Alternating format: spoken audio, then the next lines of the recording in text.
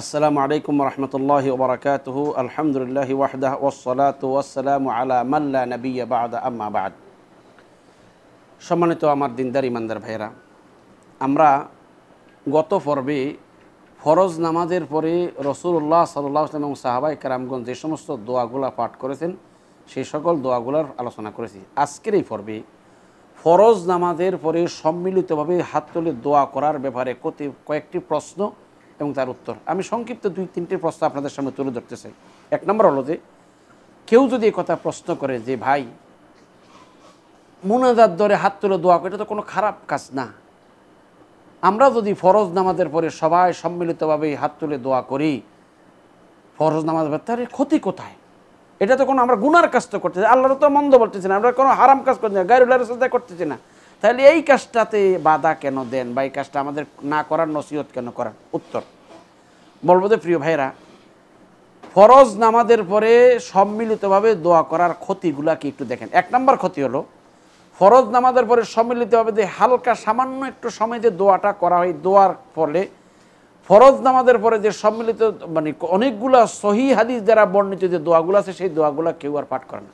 প্রিয় ভাইরা কাউকে বলার, আপনার নিজের সামনে, চোখে যা দেখেন তাই দেখুন তো দেখি। ফরজ নামাজের পরে ইমাম সাহেব আল্লাহ মামিন বলে একটু এই এক, দুই সেকেন্ড, পাঁচ সেকেন্ড, দশ সেকেন্ডের ভিতরে একটা দোয়া করে শেষ করে দেন। তারপরে সবাই উঠে সন্ন্যত আদায় করে বাসায় চলে যান। এই যে দোয়াগুলো আমরা গত পর্বে আলোচনা করলাম, এই আয়াতুল কুরসির মতো বা আস্তাক ফারফারা অন্য অন্য যে দোয়াগুলো এগুলো কোনোটা কি আমল হয়? কেউ করে না। চলে যায়। তাহলে এই যে নবীর সুন্নতটা ধ্বংস হয়ে গেল। সুন্নতটা ধ্বংস হয়ে গেল। তাছাড়া এই যে মহামূল্যবান, আমার জন্য কল্যাণকর যে দোয়াগুলো, যেমন আয়াতুল কুরসি, নামাজ নামাজের পরে প্রত্যেক ফরজ নামাজের পাঠ করার দ্বারা মৃত্যু পর জান্নাতের সুসংবাদ পেতাম। তসবি ফাতিমা যেটা সেটা পড়ার দ্বারা আমার গুণা মাফ হয়ে যেত। আর অনেক দোয়াগুলা, এই সবগুলা থেকে আমরা বঞ্চিত হয়ে গেলাম। তাছাড়া আমরা আরেকটা ক্ষতি হলো যে যে দোয়া কবুলের দোয়া আল্লাহ কাছে চাওয়ার জন্য কতগুলো আদব আছে। ফরজ নামাজের পরে যে দোয়াটা করা হয়, সেখানে কোনো আদব রক্ষা হয় না। সালাম ফিরে এলো, তারপরে হঠাৎ করে আল্লাহ মামিন আল্লাহ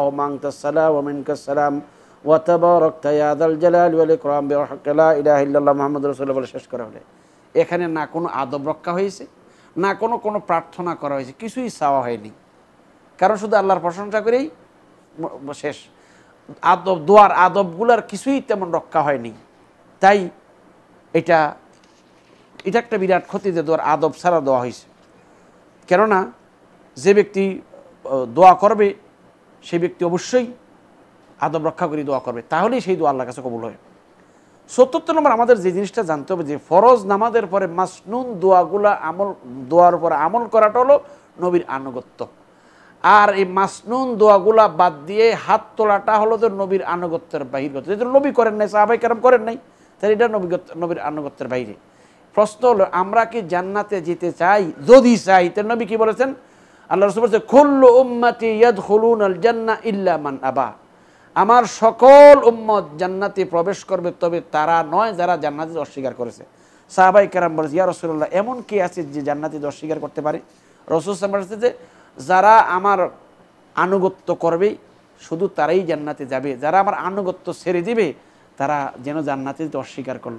প্রিয় ভাইয়ের এই জায়গায় যেহেতু ফরজ নামাজ হবে, রসুল সাহেব সাহাবাই কারামকে নিয়ে যাকে যেহেতু মাসরুম দোয়াগুলা পাঠ করেছে সাহাবাই কারাম সালফা সালেন সেই সোনানি যুগের লোকেরা এই এইভাবেই যেহেতু করেছেন, তাহলে আমরা এখানে তাদের আনুগত্য করতে গিয়ে এইভাবেই চলি, তাহলে আমরা নবীর সুন্নতকে জিন্দা করলাম। আর নবীর সুন্নত বাদ দিয়ে যদি আমরা ওইভাবে করি, তাহলে নবীর সুন্নতকে জিন্দা দফন করা হলো। তাছাড়া পঞ্চম নম্বর ক্ষতি হলো যে হালকা একটু মোনাজাত করার দ্বারা আমাদের দিকটা বিরাট বড় সর্বনাশ হয়ে যাচ্ছে। সেটা কি? যে এই যে মসজিদ ইমাম সাহেবের সাথে একটু হালকা দোয়া করলাম, এরপরে আর নিজে যে আলাদা দোয়া করার লাগবে, সেই অনুভূতিটা আমার মনের থেকে চলে যায়। কারণ এরপরে আমরা তেমন আর দোয়া করি না। ইমাম সাহেবদের সাথে একটু হাত তুলে দোয়া করলাম, ইমাম সাহেব যা বলছে, আমি কোনোদিন আল্লাহ কাছে নিজের দুঃখের কথা একবারও বললাম, ইমাম সাহেব যা বলছে, আমি নামিন বলে দিলাম।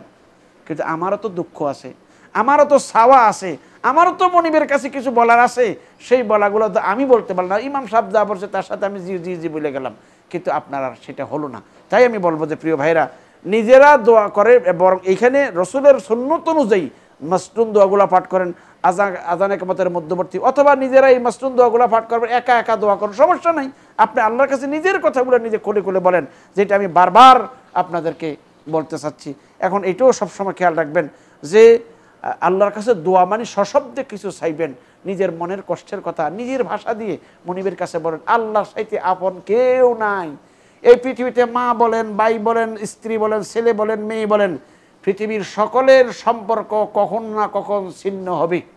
আপনার ইন্তেকালের পরে দুই চার দিন আপনার ছেলেমেয়েরা কান্নাকাটি করে তারপরে এরা ভুলে যাবে। কিন্তু আল্লাহর সাথে সম্পর্ক কখনো ছিন্ন হবে না। সাই আপনি দুনিয়ায় থাকেন, সাই কবরে যান, সাই হাসরের ময়দানে যান।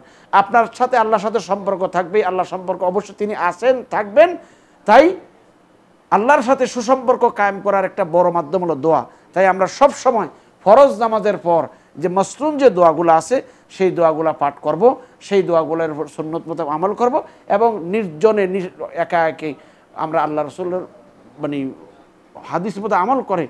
অন্য অন্য যে যে- সমস্ত জায়গাতে দোয়া করার সুযোগ আছে, সেখানে আমরা দোয়া করব। প্রিয় ভাইরা দোয়া করলে অবশ্যই হাত তুলে দোয়া করে এটা আদব, কিন্তু সব জায়গায় হাত তুলে দোয়া করা যায় না। যেমন আমরা টয়লেট ঢুকতে দোয়া পড়ি, টয়লেট থেকে বের হতে দোয়া পড়ি, নামাজের ভিতরে বিভিন্ন জায়গায় আমরা বিভিন্ন সময় দোয়া পড়ি, সেখানে সব জায়গায় হাত তোলা যায় না। তারপরে ঘরে ঢুকতে দোয়া আছে, ঘর থেকে বের হতে দোয়া আছে, খানা খাইতে দোয়া আছে, খানার পরে দোয়া আছে, ঘুমাইতে দোয়া আছে, ঘুম থেকে উঠতে দোয়া আছে, কিন্তু সেখানে তো হাত তুলে দোয়া করি না আমরা।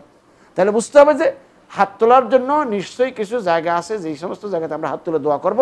কিন্তু ফরজ নামাজের পরে যেহেতু রসুলাম সম্মিলিতভাবে হাত তুলে দোয়া করেন নাই, তাই আমরা করব না। আসুন, নবীর সুন্নতকে জিন্দা করে, বেদাতকে দূর করে দেই। আল্লাহ নবীর সুন্নতের উপর আমল করে, সত্যিকারের নবীর প্রেমিক হওয়ার চেষ্টা করি। আল্লাহ আমাদের সকলকে কবল করুক। আসসালামু আলাইকুম রহমতুল্লাহ বরাকাতু